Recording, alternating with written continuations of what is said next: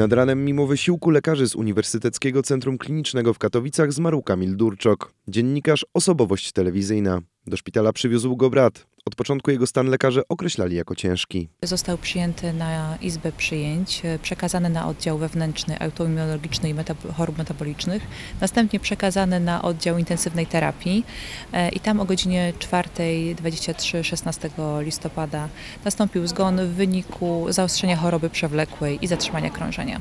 Talent Kamila Durczoka miała odkryć Krystyna Bochenek, która na początku jego zawodowej drogi wspierała karierę młodego dziennikarza. Co ciekawe, ten pierwotnie planował zostać prawnikiem. Prywatnie był niesłychanie ciepłym, dobrym, sympatycznym, miłym człowiekiem. Y, Mimo, że był gwiazdą ogólnopolską, kochał ten Śląsk, na każdy weekend tutaj wracał, był zakochany w tutejszych zabytkach, w tutejszych restauracjach, uwielbiał po prostu tą ziemię. Mimo miłości do Śląska w pewnym momencie życia wybrał Warszawę. Trakcie swojej wieloletniej kariery pracował m.in. w telewizji polskiej czy stacji TVN, gdzie osiągnął status gwiazdy. Później bywało różnie. Ja wiem o Kamilu rzeczy, których nie wie nikt, ale też są rzeczy, które ludzie wiedzą o nim, a ja o nich nie wiem. I nie zamierzam z tym się mierzyć w żaden sposób. Nie chcę go oceniać po prostu w tych obszarach, bo ktoś przytoczy mi opowieść, która może zburzyć ten mój wizerunek Kamila. Nie zamierzam w to się w ogóle wgłębiać. Dla mnie umarł po prostu przyjaciel. Ale i profesjonalista, którego kunszt, cięty język oraz bystrość umysłu doceniali zarówno ludzie z branży, jak i z którymi przed kamerami wiele razy rozmawiał.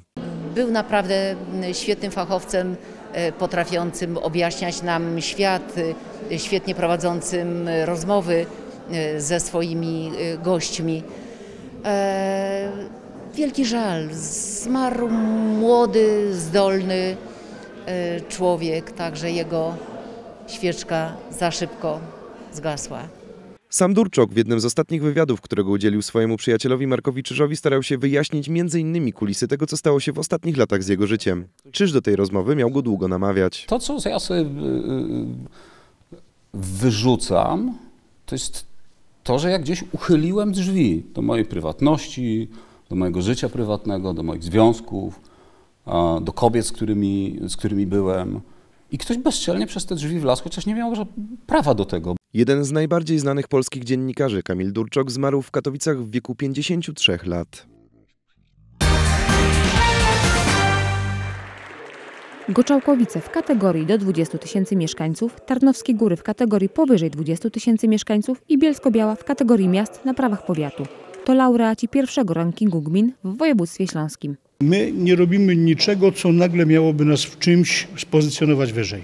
My po prostu od lat powtarzamy zasadę, że trzeba robić swoje, trzeba wykonywać swoje obowiązki najlepiej jak umiemy i najlepiej jak na to pozwalają nasze ok- okoliczności, warunki, które nam stworzono.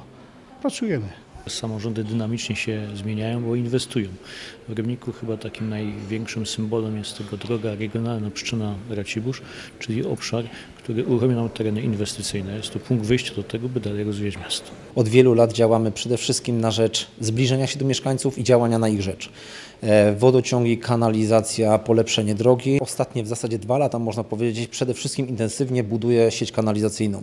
Budujemy prawie 80 km sieci kanalizacyjnej, jak na gminę wiejską to jest bardzo duża ilość. Ranking powstał z inicjatywy Fundacji Rozwoju Demokracji Lokalnej we współpracy z Głównym Urzędem Statystycznym. W trzech kategoriach wyłoniono łącznie dziewięciu laureatów. My chcemy, żeby ranking był y, z jednej strony wyróżnieniem tych, którzy działają dobrze i którzy osiągają dobre wyniki w zakresie zrównoważonego rozwoju, ponieważ mm, y, wskaźniki są tak skonstruowane, aby obejmowały różne sfery działania y, samorządu, zarówno kwestie związane z wydatkami na oświatę, jak i z dochodami gminy, jak i z wydatkami na ochronę środowiska, czy też na podnoszenie kwalifikacji pracowników. Ranking został podzielony na miasta i gminy do 20 tysięcy mieszkańców, powyżej 20 tysięcy mieszkańców i ze względu na specyfikę województwa śląskiego miasta na prawach powiatu. Podstawą do wyłonienia laureatów były dane statystyczne Głównego Urzędu Statystycznego, które opiewały o lata 2018-2021. Większość wskaźników, a było ich 16, e, zostały mm, ujednolicone. Można je porównywać. Dzięki temu e, większość była w przeliczeniu e, na jednego mieszkańca, więc porównywalność była zapewniona.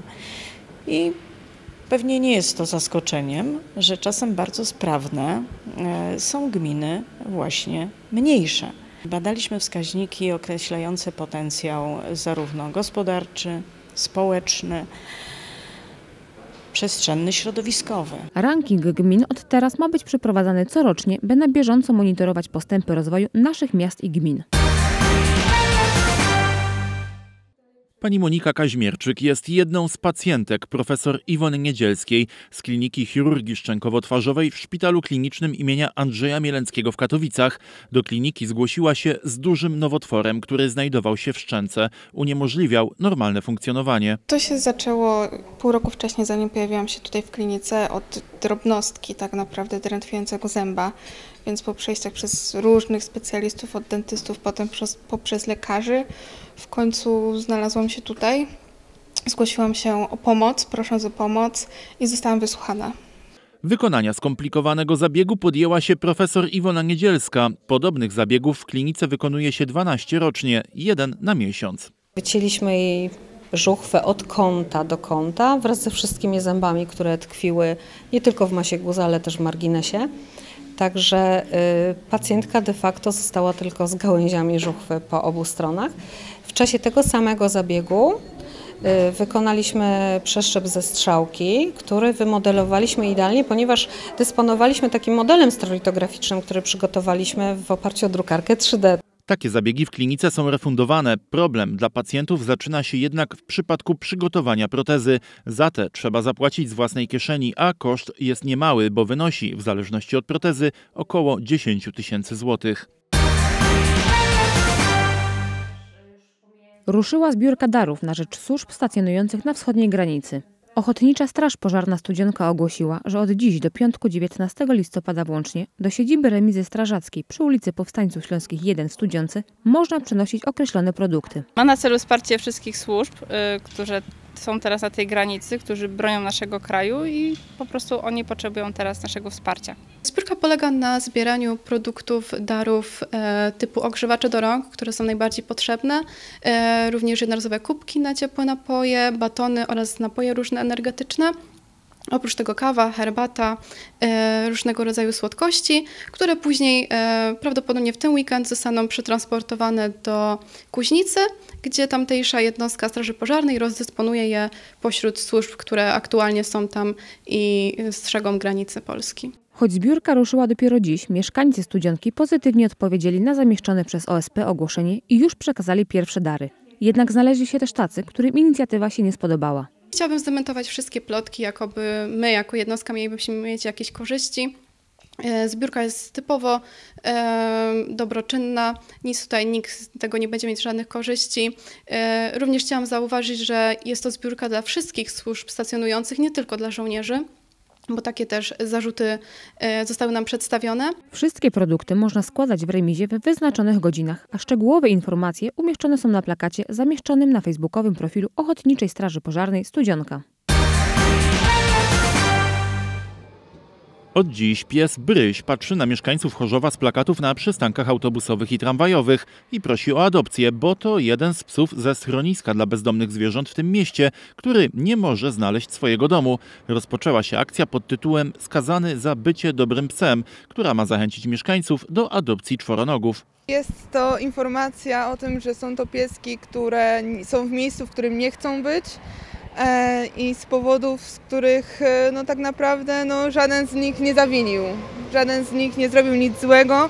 E, są to psy, które kiedyś były przez kogoś najprawdopodobniej kochane i, i zostały porzucone. Cały czas przybywa nam zwierząt, w zasadzie mm, sytuacja się nie poprawia, mimo tego, że cały czas staramy się uświadamiać ludzi, także tych zwierząt do adopcji wciąż jest bardzo dużo.